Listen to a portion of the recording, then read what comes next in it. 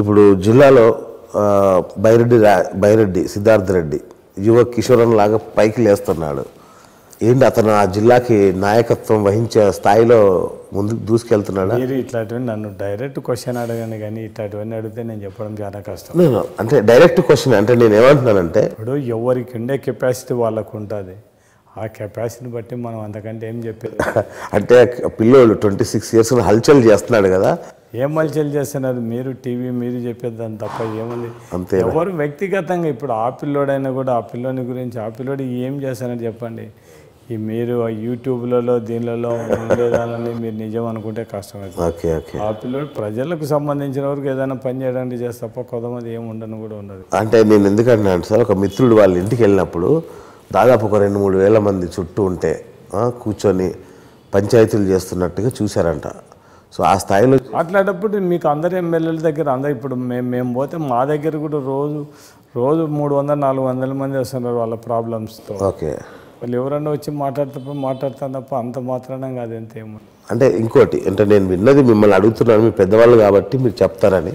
So మనల్ని తొక్కేయడానికి మొత్తం పద్నాలుగు మంది ఎమ్మెల్యేలు ఒకటయ్యారని కూడా అంటారు. అదే అంత అవసరం ఏముంది చెప్పండి. మాకే నాకు ఎవరు నాకు ఎవరు పోటీ కాదు. నేను ఎవరిని తొక్కాల్సిన అవసరం నాకు లేదు. అంతే అంటారు. నాకు ఎవరితో పోటీ కాదు నేను ఎవరిని తొక్కాల్సిన అవసరం నాకు లేదు. ఓకే. రైట్. సో ఒకసారి గతంలోకి వెళ్దాం. ఫ్లాష్ బ్యాక్లోకి వెళ్తే. సో కాటసాని కుటుంబంకి బెజ్జం పార్సారథి రెడ్డి కుటుంబానికి ఉన్న వైరం ఇప్పుడు మొత్తం సమసిపోయినట్టేనా మేము అందరం కలిసే తిరిగినాం కదా బాబు మన ఎలక్షన్లో రెండు వేల నాలుగులో కాంప్రమైజ్ అయిన తర్వాత ఇంకా ఫ్యాక్షన్ మేము అందరం ఎవరి పెళ్ళిళ్ళకు వాళ్ళ పెళ్ళిళ్ళకు మేము పోతున్నాం మా పెళ్ళిళ్ళకు వాళ్ళు వస్తున్నారు. మొత్తం అంతా మేము ఇంకా కల్మషాలు ఏం లేవు కడుపుల్లో కల్మషాలు అవసరం బయటికి ఫ్యాక్షన్ అందరూ కలిసిపోయినా ఏం లేదు. అంటే మీ కుటుంబం కుటుంబాన్ని మొత్తం తొమ్మిది అంటే మా మందిని ఫాదర్ వాళ్ళు చంపిన వాళ్ళు కూడా ఇప్పుడు మా ఊరు దాయాదులు వాళ్ళందరూ కూడా వచ్చిపోతుంటారు మా దగ్గరికి. అవునా? సో మీరు వాళ్ళకి క్షమించేశారా? ఇంకా కాంప్రమైజ్ అయిపోయిన తర్వాత ఇంకా దాని గురించి ఆలోచించాల్సిన అవసరం లేదు. అంటే మీరు కాంప్రమైజ్ అవ్వడాన్ని మీ అభిమానులు కొందరు జీర్ణించుకోలేకపోతున్నారు. అట్లా ఏం లేదు అందరికీ నచ్చ చెప్పే కాంప్రమైజ్ అయింది. సో ఇప్పుడు వాళ్ళ తండ్రి హత్య కేసులో అంటే వాళ్ళ బెజ్జం తండ్రిని చంపడంలో మీ పాత్ర ఉందా? ఇప్పుడు ఫ్యాక్షన్లో సంబంధం ఉందా లేదా అనేది మీరు దాని గురించి వదిలిపెట్టండి. అడగొద్దు ఫ్యాక్షన్ ఉంటే దాంట్లో ఇప్పుడు సంబంధం లేకపోయినా అని కేసులలో పెడతారు. అట్లా కేసులలో పెట్టినట్టు. అందుకే మిమ్మల్ని సంబంధం ఉందా అని అడిగా. మీరు చేశారని అడగల నేను. సంబంధం ఉందా అని అడిగాను. అంటే ఇప్పుడు కేసులో ముద్దాయిగా ఉన్నాం కాబట్టి కోర్టు కొట్టేసింది. ఇంకా మనకు సంబంధం లేనట్టే చట్టం ప్రకారం అయితే లేనట్టే. అంతే కదా. ఇంకా వేరే ప్రకారం? అట్లట్లయితే అది వేరే కూడా దాంట్లో ఏం సంబంధం లేదు కదా. ఓకే రైట్ అదే ఇప్పుడు మీ ఒక్కసారి నాకు చెప్పండి సార్ మీ తండ్రి గారు మొత్తం తొమ్మిది మందిని ఒకేసారి చంపేశారు ఏడు మందిని ఒకటే ఏడుగురిని ఒకేసారి ఎట్లా జరిగింది సార్ అసలు అది? అంటే కాంప్రమైజ్ అనే ఉద్దేశంతోనే తీసుకుపోయి గొర్లగుట్ట దగ్గర అంటే నమ్మి కాంప్రమైజ్ అని రమ్మని చెప్పినారు కర్నూలు. మధ్యకు వచ్చిన తర్వాత అటాక్ చేసి చంపాడు అప్పుడు మీ ఏజ్ ఎంత ఉంటుంది సార్ అప్పుడు? నేను ఇంటర్మీడియట్ చదివి అప్పుడే ఆ రోజే నేను శనివారం రోజు వచ్చినాను నర్సరావుపేట నుంచి. ఆదివారం మాట్లాడదు ఓకే. మీరు కూడా ఆ బస్సులోనే ఉన్నారంటారు? నేను లేను లేను. మిమ్మల్ని పక్కన మా ఊరు మా ఊరు బస్ స్టాండ్ వరకు వాళ్ళు మా ఫాదర్ వాళ్ళతో అంత వరకు పోయినాను తప్ప ఇంకా నేను ఇంటికి పోయినాను. మాకు మళ్ళీ పదకొండున్నరకి ఇట్లా చంపినారని తెలిసింది. ఓకే. మీరు ఆ బస్సులోనే ఉంటే పక్కన ఉన్న వాళ్ళు ఏం ఆ పిల్లోడే అతను సంబంధం లేదని దాచిపెట్టారని. అది ఏం లేదు అంతా ఉత్తది. కబుర్లు క్రియేట్ చేసినాయి అంటారు. ఇప్పటికీ అంటే మీ సొంత గ్రామం గుండ్ల సింగవరం ఇప్పటికీ అక్కడ బాంబులు చుడుతుంటారంట నిజమేనా సార్? ఎందుకు అవసరం? మీరు అంతా మీరు మీడియా వాళ్ళు మీరు ఏదో ఒకటి. మీరు. ఒకటి మీరు ఒకటి మీరు తెలుసుకోవాల్సింది ఒకటే. బాంబుల సంస్కృతి పోయింది. ఓకే. ఇప్పుడు ఎవ్వరు కూడా మీకు ఒక చెప్తానండి ఏ నాయకుడు కూడా ఫ్యాక్షన్ పెట్టుకునే పరిస్థితులు లేడు. ఓకే.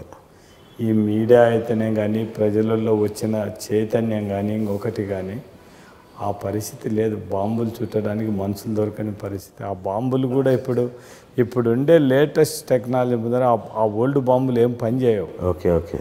ఇప్పుడు ఆ పరిస్థితులు ఆ బాంబులు చుట్టడానికి కానీ ఇంకొకటి కానీ ఇంకొకటి కానీ ఎవరికి అవసరం లేదు అంత ఫ్యాక్షన్ కూడా లేదు కాబట్టి ఓకే వాళ్ళకి ఎప్పుడో మర్చిపోయినాం దాని గురించి ఆలోచన చేయాల్సిన అవసరం కూడా లేదు. అంటే ఒక మాట సార్ ఇప్పుడు మీకు ఫ్యాక్షన్ అంటే ఆ ఏరియాలో ఉన్న మీకు ఇది చాలా సిల్లి విషయాలాగా ఏంట్రా బాబు ఎన్నిసార్లు అడుగుతారని మీకు అనిపించవచ్చు కానీ దీనికి దూరంగా ఇక్కడ హైదరాబాద్లో ఉండే మాకు అది ఒక ఒక వింతగా మీకు ఒకటి చెప్తాను. మా మా దురదృష్టం ఏమంటే ఈ రాయలసీమ సంబంధించిన ఫ్యాక్షన్ అన్నీ కూడా సినిమా వాళ్ళు వీళ్ళందరూ పెద్దగా చేసి. డబ్బులు సంపాదించుకోవడానికి మేదేదో మేము పెద్ద రాక్షసులము మేము వాళ్ళను ఇట్లా చేస్తాము వీళ్ళని ఇట్లా చేస్తాము మీరు ఫస్ట్ అడిగే క్వశ్చనే మీరు వస్తుంటే మీరు ప్రజలు తలుపులు వేసుకొని అంత గుండాలం కాదు. మీరు మీరు మీరు తెలుసుకోవాల్సింది ఒకటే. ఫ్యాక్షన్ ఉన్నా ఫ్యాక్షన్ లేకపోయినా కూడా ఎవ్వరు ఒక్కరిని ఎవరిని బెదిరించే పరిస్థితి ఎవరు ఉండను కూడా ఉండరు. ఊళ్ళలోకి పోయినప్పుడు అందరూ మాట్లాడతారు అందరితో అందరితో కలిసిపోతాం మాతో అంతా చాలా ఫ్రీగా ఉంటారు మా దగ్గరికి వచ్చి మాట్లాడతారు కదప్ప. అంత అవసరం లేని సార్ ఒక్కటి చెప్పండి బుల్లెట్ల దండలు వేసుకొని మీ ముందు తిరిగిన సందర్భం లేదా? అది ఎప్పుడు దగ్గర దగ్గర ఒక ముప్పై సంవత్సరాలు అప్పటి విషయమే చెప్తున్నాను సార్ అప్పుడు కూడా అప్పుడు కూడా ఊళ్ళో లేకపోతే భయపడి తలుపులు వేసుకునే పరిస్థితి ఏమి ఉండదు. అందరూ వా ఇప్పుడు అట్లా దాని గురించి ఏం లేదు అంత భయపడాల్సిన అవసరం లేదు ఆ పరిస్థితి కూడా లేదు. ఓకే.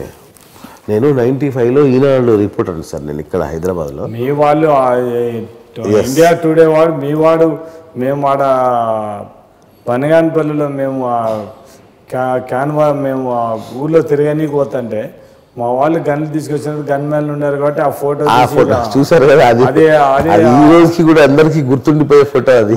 అది అది తప్పు. మీ వాళ్ళంతా పబ్లిసిటీ కోసం ఆ ఫోటోలలో తీపించుకొని అవన్నీ మీరు సార్ గన్మెన్లు అలా లుంగి అది లుంగీలు అవి కట్టుకొని గన్నులు పట్టుకొని వెళ్తారా? గన్మెన్లు సీమలో అలా వెళ్తారా? అట్లా కాదు మీకు చెప్తానండి గవర్నమెంట్ గన్ మ్యాన్లు అయితే వాళ్ళ వెపన్స్ మా లైసెన్స్ వెపన్లు.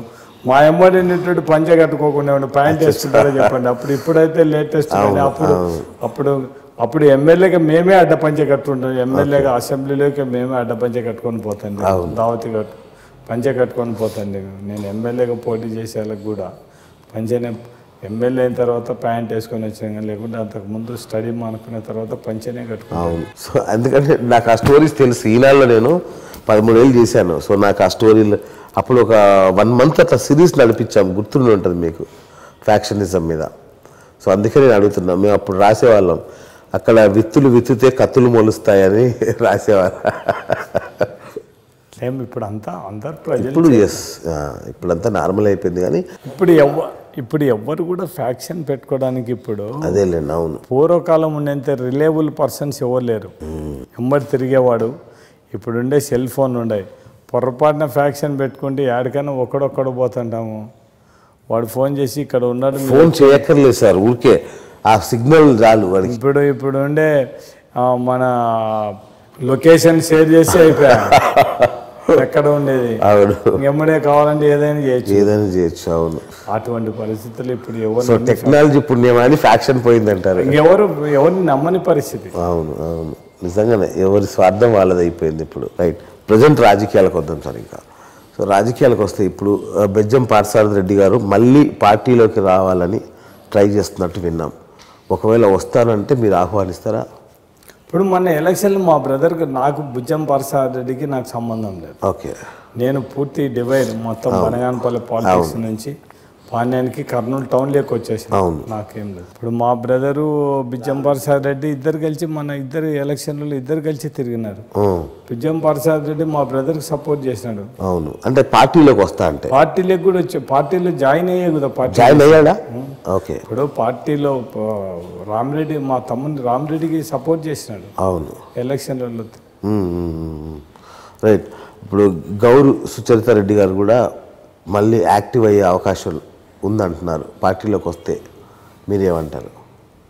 ఇప్పుడు పార్టీలో రావాలన్న వ- వాళ్ళ వ్యక్తిగతం దాన్ని మనం ఏం మాట్లాడడానికి అంటే వాళ్ళ వచ్చే ఆలోచనలో ఉన్నారు. మన మీరేమంటారు?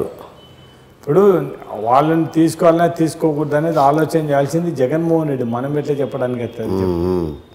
మనం పార్టీ మీరు వెల్కమ్ చేస్తారా అనేది నా ప్రశ్న. అది జగన్మోహన్ రెడ్డి మీద ఆధారపడి ఉంటుంది.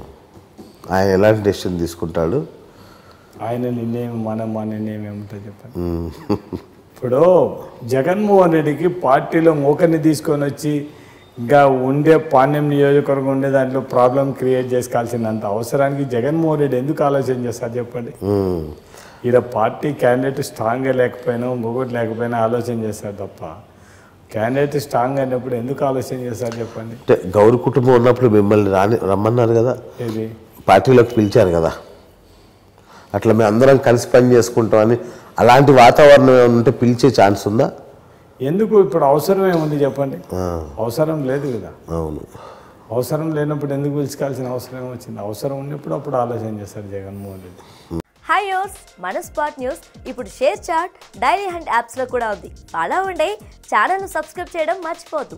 గంట కొట్టడం అస్సలు మర్చిపోవద్దు.